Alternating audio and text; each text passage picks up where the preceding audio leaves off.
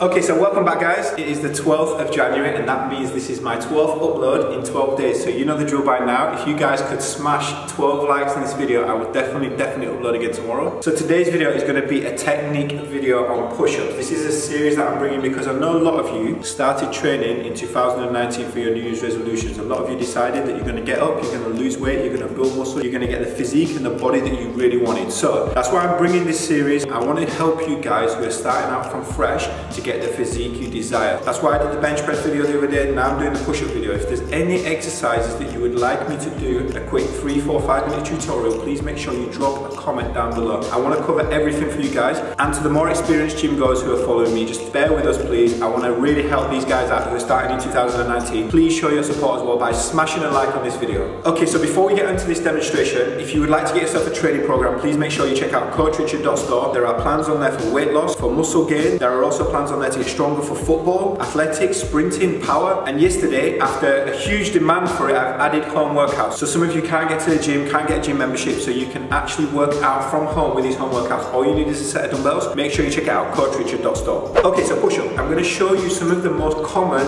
mistakes for push-ups, and I'm also gonna show you ways that you can develop into doing a push-up if you can't do them. Okay, so the first mistake and the most common mistake I see people do when they do push-ups is this.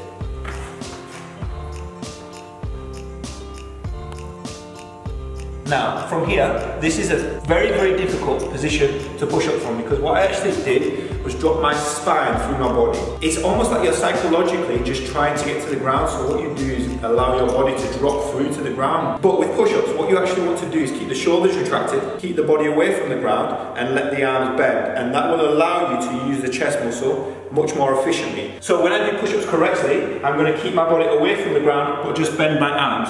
If I do push-ups incorrectly with that drop through, it ends up here. And this is a far more difficult position to push from.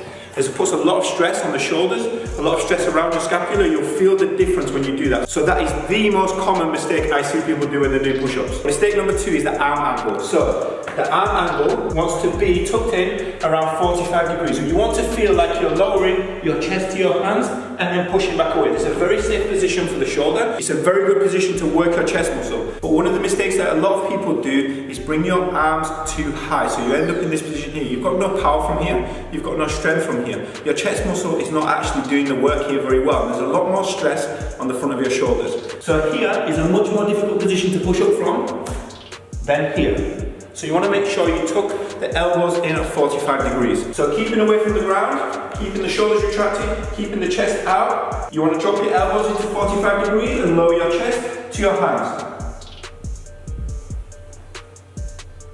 Okay, mistake number three that people do. Either because they're too fatigued or because the push-ups are just too hard. When you get to the bottom, they start to push away and the elbow flicks around. You want to make sure you're not flicking your elbow around. It's like when you do squats, you squat down, when you push up, you want to keep your knees stable. You don't want to drop the knee in. It's the same thing with push-ups, so you need to bear in mind that elbow needs to stay still and push through in a smooth line. Some people when they get fatigued, you get this elbow flicking around. It's something that Toby was doing a lot on test day. You want to make sure you don't get that. Try and push through as smooth as possible.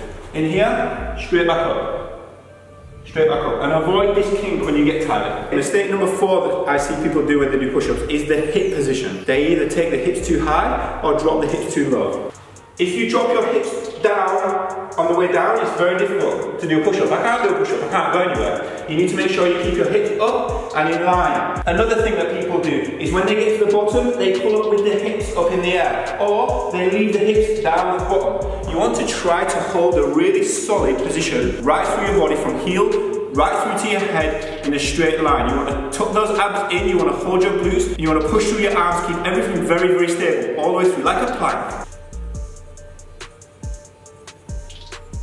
Okay, if you can't do a full push-up, you can develop by doing push-ups on your knees initially. You can play around with the angle of this as well to make it a little bit easier. Straighten out from knee to head.